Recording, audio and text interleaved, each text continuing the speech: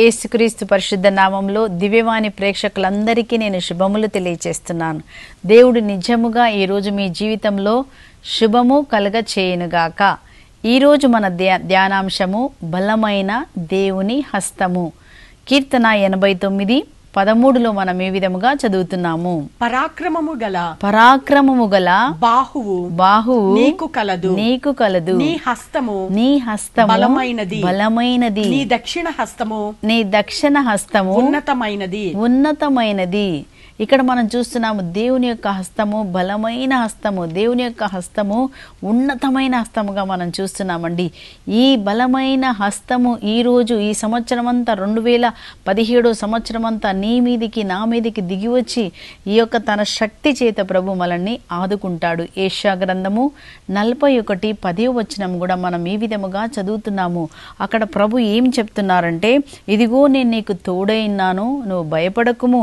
నేను నీ దేవుడను నువ్వు దిగులు పడకము. దేవుడు చెప్తున్నాడు నువ్వు దిగులు పడకు. నేను నీ దేవుడను నిన్ను బలపరుస్తాను. నీకు సహాయము చేయువాడను నేనే.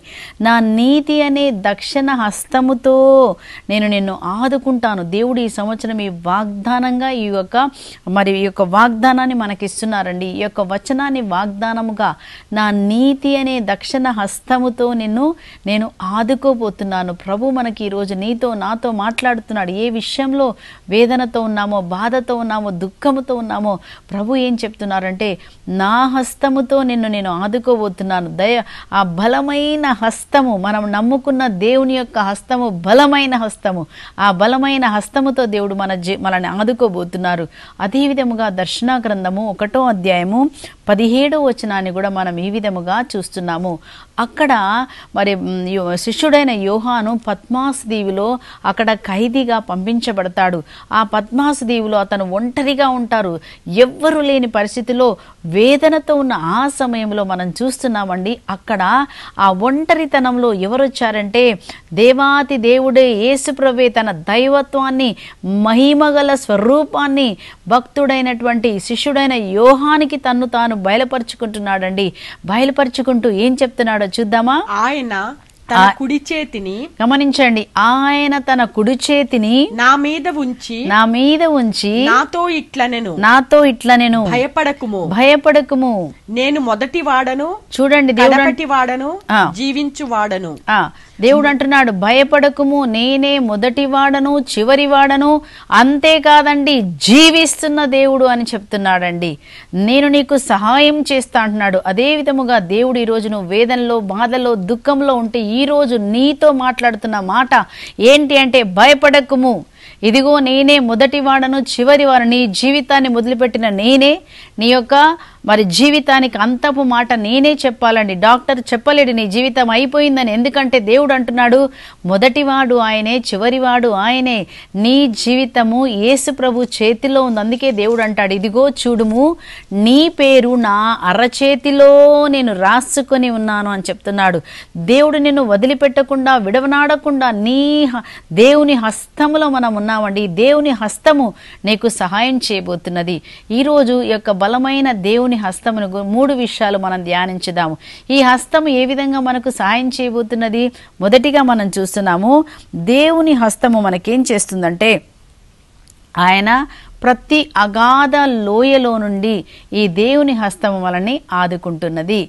మరి కీర్తన పద్దెనిమిదిలో మనము పదహారులో ఈ విధముగా చదువుతున్నాము. ఉన్నత స్థలముల నుండి చెయ్యి చాపి చెయ్యి చాచి ఆయన నన్ను పట్టుకొనెను. ఆయన నన్ను పట్టుకోనండి. ఇక్కడ చూస్తున్నామండి ప్రభు అంట ఆకాశం నుండి దిగి వచ్చి తన చేతితో నన్ను పట్టుకున్నాడు. ఆ. నన్ను పట్టుకొని పట్టుకొని మహా జలరాశులలో నుండి తీసెను. చూడండి దేవుడు అంట ఏం చేస్తాడంట ఆ చేతితో నిన్ను పట్టుకొని ఎక్కడైతే జలరాశిలో ఏ అగాధంలో నీవు ఉన్నావో ఆకాశం నుండి దేవుడి యొక్క చెయ్యి హస్తం వచ్చి ఆ అగాధంలో నుంచి నన్ను బయటికి లాగాను అంటున్నాడు. ఎక్కడి నుంచి అయినా మనల్ని బయటికి లాగుతున్నాడు. కీర్తన నలభైలో మనం చదువుతున్నాము. రెండో వచనంలో మనం చూసినట్లయితే దేవుడు అంట మనల్ని ఎక్కడి నుంచి బయటికి లాగుతున్నాడండి? వినాశనకరమైన గోతిలో నుండి బురదలో నుండి అంట దేవుడు నన్ను బయటికి లాగాను. లాగిన తర్వాత ఆ వినాశనకరమైన గోతిలో నుంచి బయటికి లాగిన తర్వాత దేవుడు ఏం చేస్తున్నాడండి? ఆ ఒక కొండ మీద బండ మీద నిలిపి ఉన్నతమైన స్థానంలో నేను నిలిపి నీకు భద్రతను కలగ చేయుటకే ఆ దేవుని యొక్క హస్తము దిగి వస్తుంది కనుక ఈ ఈ వాగ్దానాన్ని చేతులు పట్టుకొని చెప్పాలి. కీర్తన పద్దెనిమిది పదహారులో దేవా దేవుడు తన ఆకాశం నుండి తన చేతిని చాచి నన్ను అగా అగాధ జలరాశుల నుండి బయటికి లాగునుగాక లాగునుగాక అని నువ్వు మళ్ళీ మళ్ళీ చెప్పినప్పుడు ఆ దేవుని హస్తం వచ్చి నేను బయటికి లాగుతుందండి.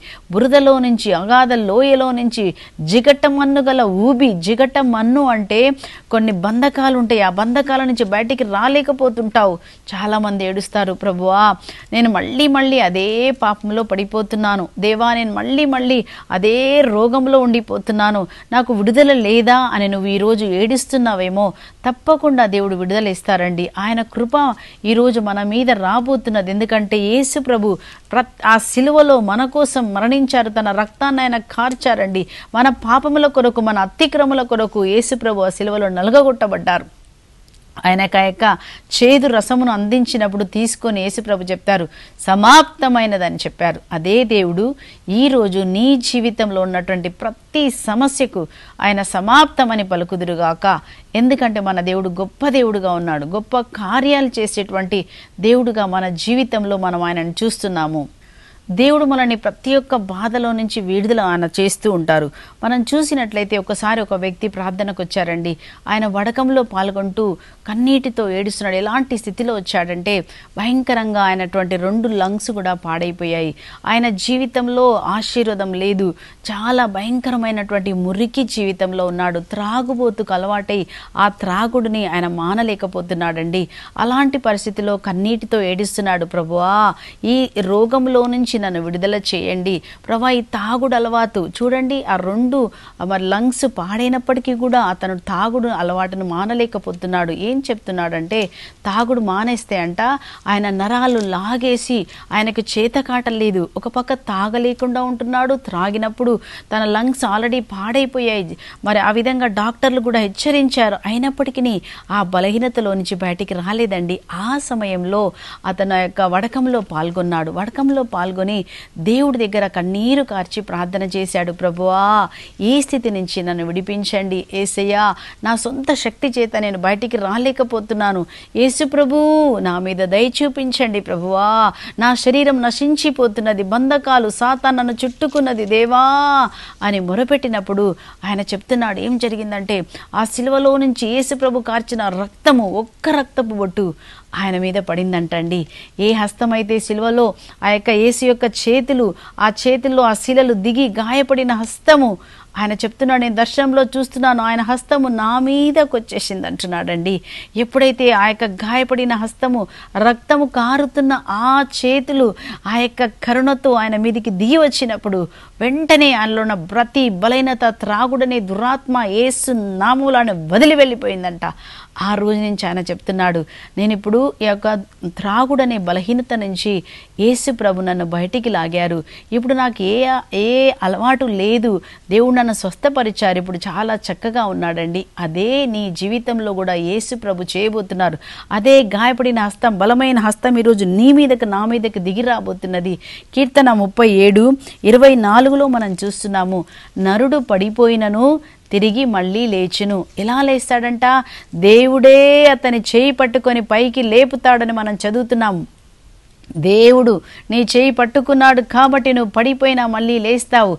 అర్థమవుతుందా? ఎవరు నిన్ను పట్టుకున్నారంటే దేవుడే తన చేయి పట్టుకొని ఆయన నిన్ను నడపబోతున్నాడు. ఈ దేవుడు ఈ సంవత్సరం అంతా నీ చేయి పట్టుకొని బలమైన హస్తముతో ఆ దేవుడు నిన్ను కాపాడబోతున్నారు. కీర్తన నూట నలభై నాలుగు ఏడో వచ్చిన ముందుగా మనం చదువుదాం. పైనుండి పైనుండి నీ చెయ్యి చాచి నీ చెయ్యి చాచి నన్ను తప్పింపుము. నన్ను తప్పించుము. మహాజలములలో నుండి మహాజలములో నుండి అన్యుల చేతిలో నుండి చేతిలో నుండి నన్ను విడిపింపు నన్ను విడిపించి ఇక్కడ ప్రార్థన చేస్తున్నాడు. కీర్తనకాడు ఏమంటున్నాడండి? అన్యుల చేతిలో నుంచి దేవా నన్ను విడిపించండి ప్రభా నన్ను విడిపించండి దేవా.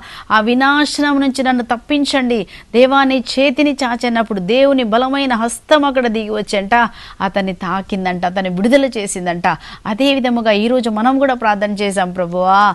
నీ బలమైన హస్తమును నా మీద పంపించి నన్ను కూడా ప్రభా నాన్న తండ్రి ప్ర- ప్రతి అగాధంలో నుంచి రోగంలో నుంచి నన్ను బయటికి లాగుము అని చెప్పినప్పుడు ఆ దయగల కృపగల పరాక్రమము గల శక్తివంతమైన దేవుని హస్తం ఈరోజు నీ మీదకి రాబోతున్నది. రెండోదిగా మనం చూస్తున్నాము ఈ యొక్క హస్తం ఏం చేస్తుందంటే దేవుని హస్తమంట సాహస కార్యాలు చేస్తుందంట. కీర్తన నూట పద్దెనిమిదిలో మనం పదిహేను పదహారు వచనాలు మనం చదువుతున్నామండి. దేవుని హస్తము సాహస కార్యాలు చేస్తుంది. చదువుదాము. ఇక్కడ మనం చూస్తున్నాము నీతిమంతుల గుడారంలో రక్షణ సునాదము వినిపిస్తుందంట.